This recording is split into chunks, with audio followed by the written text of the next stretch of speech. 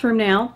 And I've got my hair cutting scissors. I have some thinning shears. By the way, I had these other thinning shears that I used for years and years professionally, but they're just too, they didn't work for uh, the wig fibers so well. And these I ordered from wigs by pattispearls.com.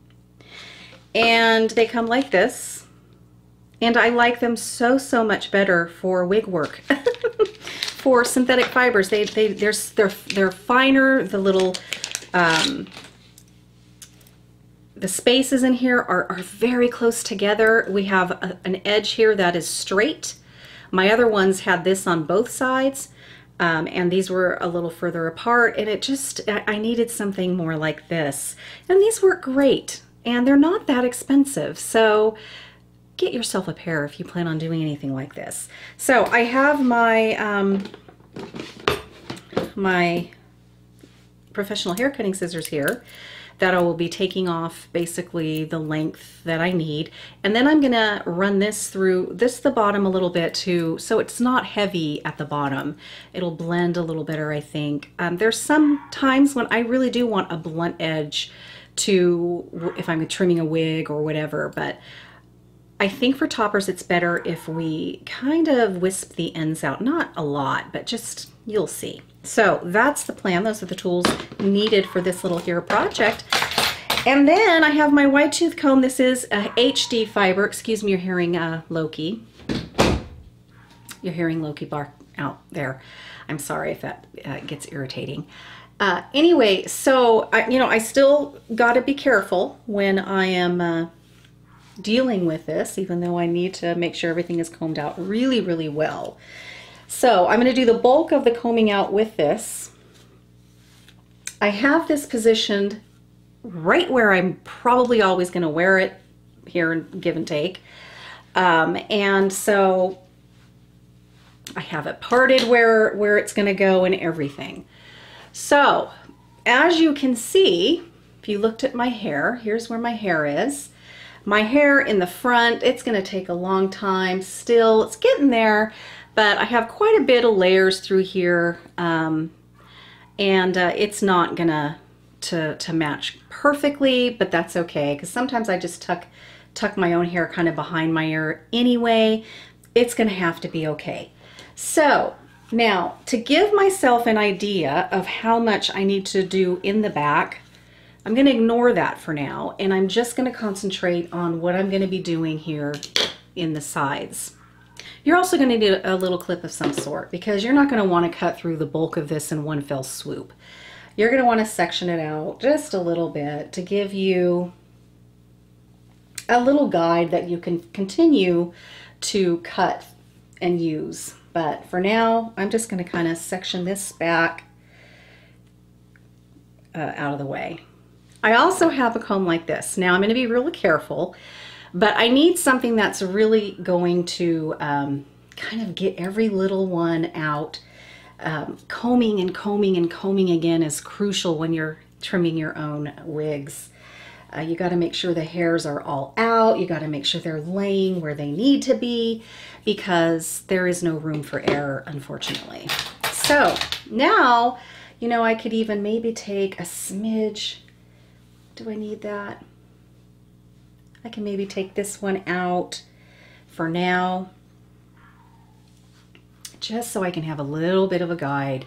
I just want to be able to see through so I can see where my hair is. I'm not wanting to guess or anything. Okay, I put I put my little cape on because I don't want to I don't want to get these little fibers on my clothes and oh they're horrible. They're so straight and and picky and not good. So uh, you're to hear the rustling of this through this. It's to be annoying, but okay. So I want to be able to see what I'm doing here. Combing this straight down so I can see where I'm to trim that. I'm not to pull too tight down. I want to kind of give this a little bit of room to where it's going to give a true illusion as to where this hair is going to be. So I don't want to pull this really tight and then cut it. If you do that, make sure you allow yourself about a quarter of an inch longer than you think you need. So I'm just going to really lightly kind of let it fall where it's gonna. And this is where I'm gonna take my very first little trim is right here. I'm taking at a, at a little bit of an angle, um, but I'm gonna take it right, right about there. And I'm going to take my scissors and cut that and cut that right off. Okay, so now we have our first little cut. Yay! So I'm not gonna thin anything quite yet. I just kind of want to get the, uh, the length where I need it. So I'm gonna grab it, let it do its thing. If it wants to curl under, I'm gonna allow it to do that. Take that and trim.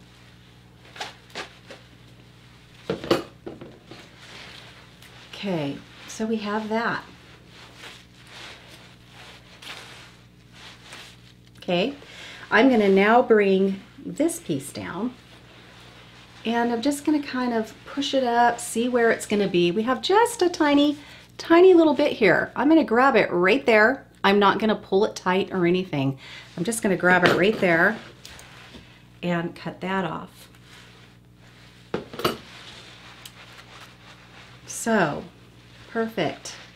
Yay. I'm to take a little more, see what we got here. Still a little heavy. I don't want to take that big of a commitment when I trim. So I'm going to take some of that up. And I'll clip it to this side. Okay, I'm going to bring this down. Hold the topper so you're not pulling your own bio hair. And if you cannot see where you cut, take, take some more hair away. You always want to see that guide. That's kind of hair cutting rule 101. You always want to see that guide and only take out as much as you're comfortable with. If you're like, God, that's a lot of hair, I don't know. Take out just a little strand at a time. Take your time. Just like, okay, okay, we got that. That looks good. Take the next piece, let it fall where it's gonna fall, pick it up a little bit, if that's how you style your hair. Take it, even if it's the tiniest little piece, do it as little bits at a time. You'll be much more successful and it won't be quite so uh, scary for you.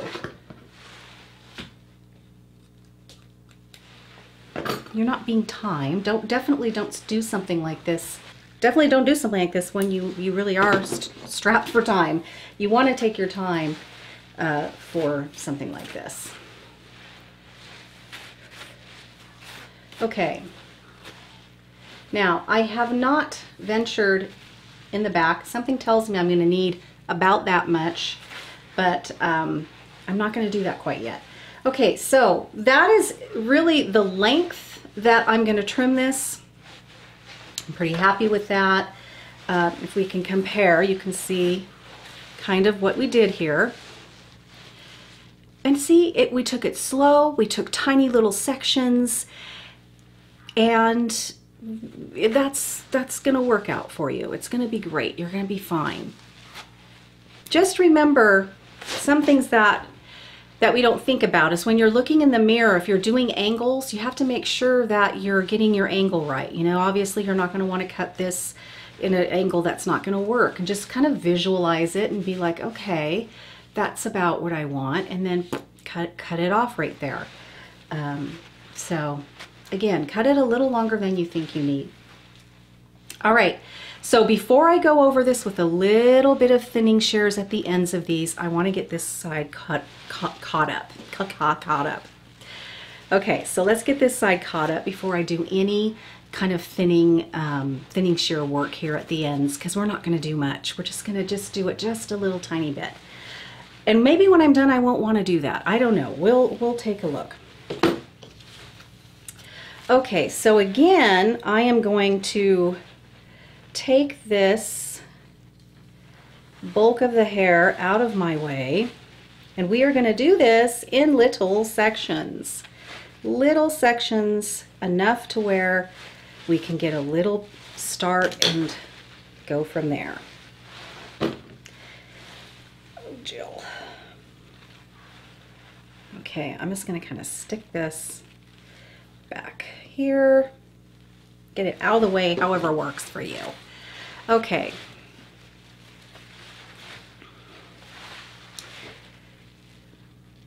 Double check, make sure your topper's on straight. It is. Okay, so we, we have, I'm gonna even take out a little bit less. I just, I feel like I see too much topper and not enough of where my own hair is. So I'm just gonna even take a smaller section there. Okay.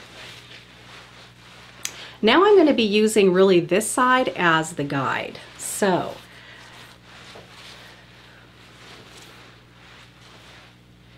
I'm gonna kind of let it fall where it's gonna.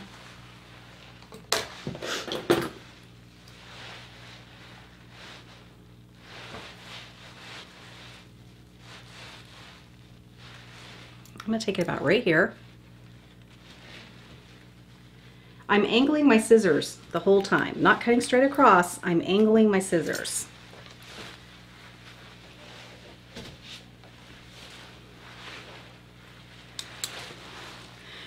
You kind of have to look straight on, find the center of your face, bring the hair to that very center point. Your goal is to get each one, you know, meeting up right there in the center. So that's what our goal is.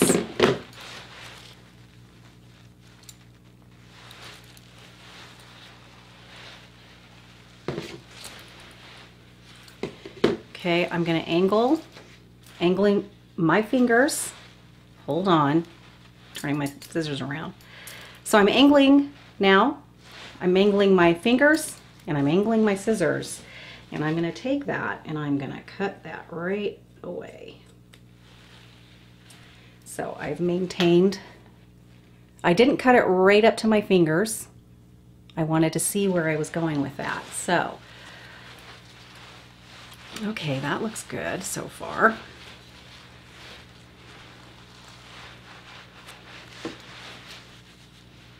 So we're checking that center mark, that center mark, that center mark. I feel like that's pretty good. So now I'm going to take down a little bit more hair.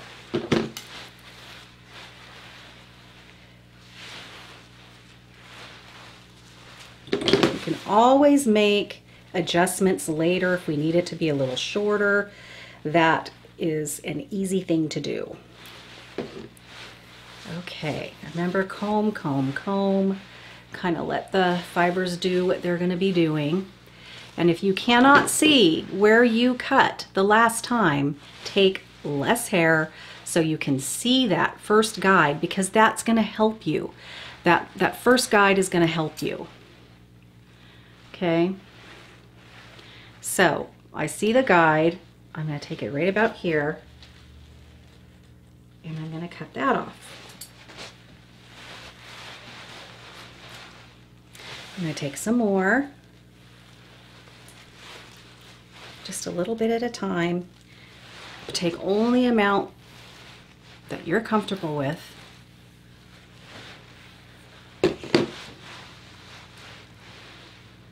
Do you see the guide through there? See that guide?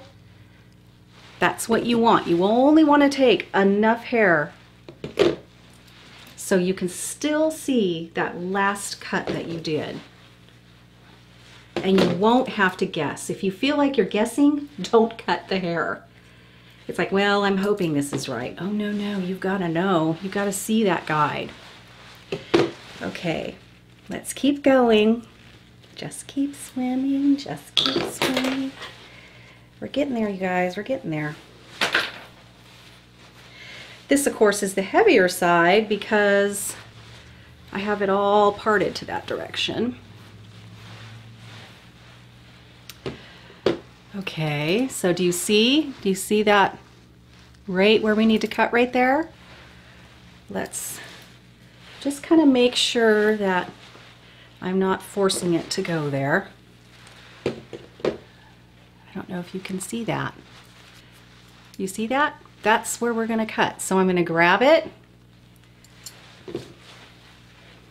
So I'm gonna grab it and if I look at, if I can, if I look at it from here, because it's at a, a length that I can do this, I can see where I need to cut. So, but if you pull it toward you, make sure that you're not messing up where you really do need to cut. So that that's really important too, and it's kind of the tricky part of um, when you when you start cutting your own hair.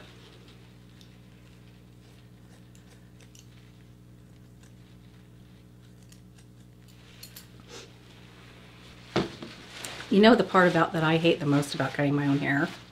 The mess. I hate picking up hair. Okay. Looking straight on, making sure. Feel like I could cut a little teeny bit, a little teeny bit off right here.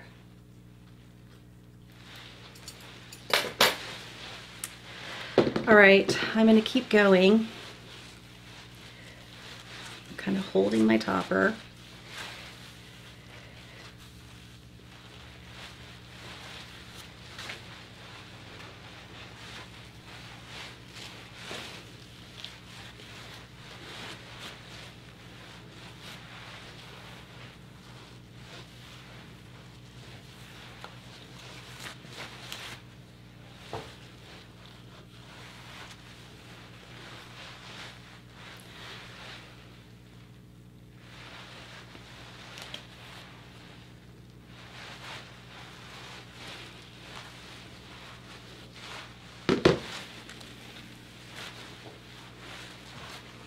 Definitely take your time, mess with it, make sure it's kind of where it needs to be. I'm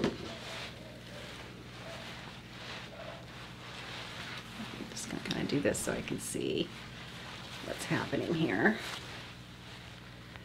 Yeah, because I'm gonna I'm gonna end up having to cut probably that off, but let's get this done first. Okay, All right, I, I feel like I got the sides done. Okay, so now I do want to kind of, uh, I'm going to get hair all over you when you do this. I hate this part because you can't work with these wet. You have, I hate dry cutting hair. It goes everywhere. It's going to get on my makeup. Okay. okay, so I'm going to take this in sections. I'm going to do about a one inch section. I'm going to bring it toward me and I'm gonna thin about one inch up. Can, I'm gonna do the angle though that I need. I'm not gonna go straight across. I'm gonna still go in this angle. I'm gonna go about an inch up and just do a, one little trim there. I'm gonna go an inch back, leave this hair, go an inch back, comb it forward, and I'm gonna still go in this angle about an inch or so back, dragging it out, combing out the excess hair. Gonna go back another inch, combing straight down, bringing it forward. I'm gonna go, I'm going at an angle, so it's about an inch back. And then I think I'm actually gonna tip this one. I'm gonna go kind of cut into it a little bit. So see, see what it does? It, it kind of breaks that up a little bit and uh, makes it just a little less blunt. Comb it through, take another inch, bring it down about an inch. Sorry guys, I'm not in the right, and I'm gonna do this, comb it through. I'm gonna go about one more inch back. I am sweating, you guys. Okay, now let's deal with the back. Here is the hair that we've trimmed and thinned, pretty much. Okay, so let's look at the back of this. Okay.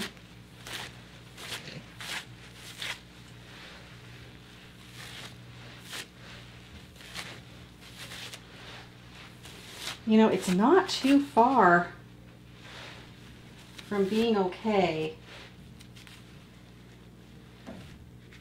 I would say about an inch would probably do it.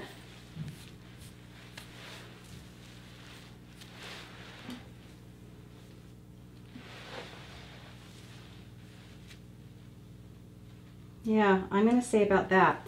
So we are going to remember this right here. This is the amount we're going to remember because I'm going to put this on my, my big wig head and I'm going to trim it on that because it's too hard to do that. Um, if it's my own hair, I cut it all the time in the back, but I want to make sure I'm being extra careful. So let me get that mounted right here and we will trim the back of this baby. This is what I'm using. I got this off Amazon and I got this off Amazon. This is a suction cup that suctions to your countertops. Works very, very well. And then this, of course, has a hole and it just sits right in here. It doesn't prevent it from not turning. That's a little annoying, but it gives me a pretty good um, way to do these things. Now, this is really embarrassing, you guys. I ordered this when I was fresh and new. I had no idea that these came in different sizes, so I just ordered the one that showed. This is a 23 inch head. I have a 21 inch head. So if I feel like I'm the only one that would not think of this. But just in case, when you order these, make sure you order the right size. If you're a 21 inch circumference, get a 21 inch one of these. So yeah, anyway. So I'm gonna secure this to my counter, which is a little lever here on the side that secures it. So I'm gonna do that. And it is really secure. And I'm gonna put this on. This obviously is the back of the head. Is there a way that I can get you to see this? I'm looking around for the topper and it's on my head. Straight pins to secure to the to the head that have the little pearls on the ends. And I want to show you where you're going to only pin through. Do you see the clips? Do you see the little, um, the little circles here on the side?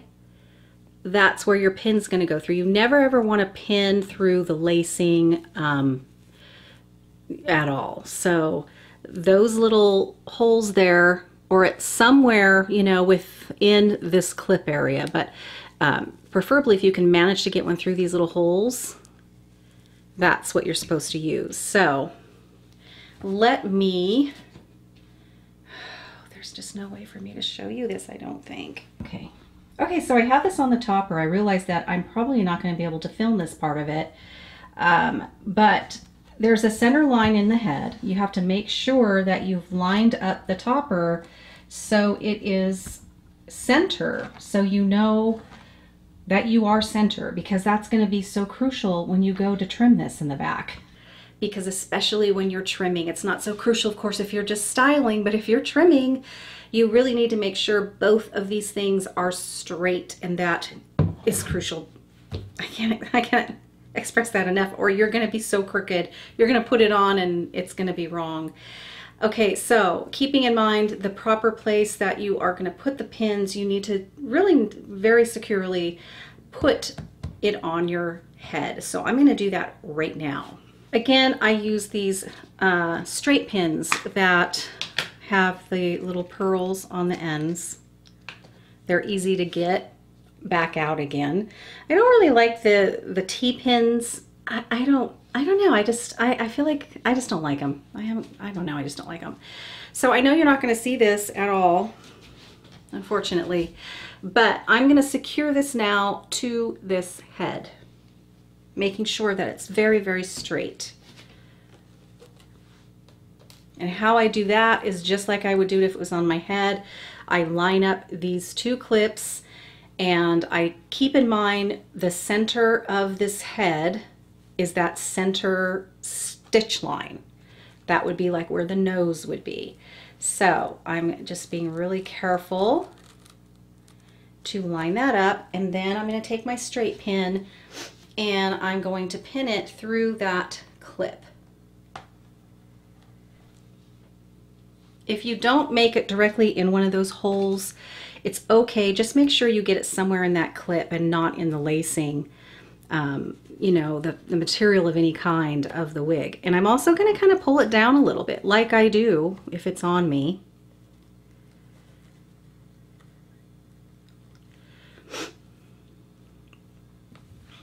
Now, I'm not going to be able to unfortunately show you as I'm doing this because I don't have anybody here to help me film this. And this is no longer on a full tripod anymore. I have it on more of a tabletop version. So I don't have any way of doing this and I, I didn't think about that before I started. But I have this on here now very securely. I combed everything down really nicely. There's no hairs going in ways they're not supposed to. I have her looking straight in the mirror. That way I know that I'm got her straight and it is definitely straight on the head itself. That's so important. Now, if you remember, I visually saw that I'm going to need to cut about this much off in the back. Where am I? Where am I? There we go. I saw that I'm going to need to really probably cut about this much here off the back all the way around. So that's simply what I'm going to do. And it's fine enough where I feel I don't need to really section the hair off.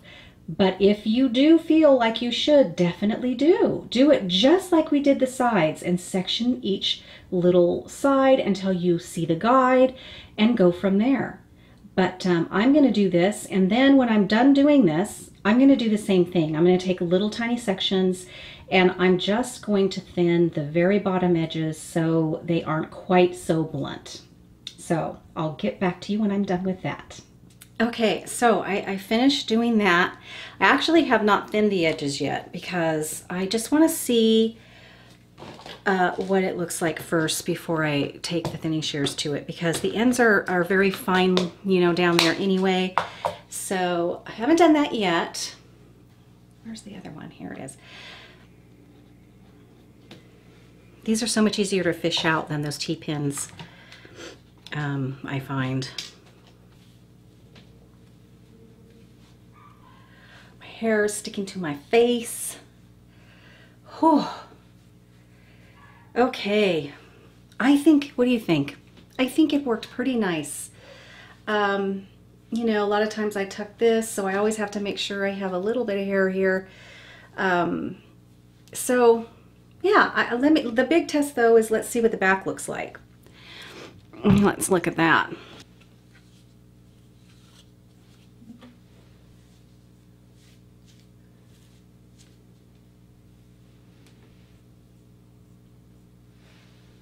What do you guys think? I think that's going to be good. I don't know. It'll allow me maybe a tiny little bit of growing room in my own hair. And if my hair grows longer by a little bit, that's fine. It's just that right now, I don't want it to be too much shorter. Uh, you know? I don't want it to be too much shorter, but what do you guys think? I think, I think that's good.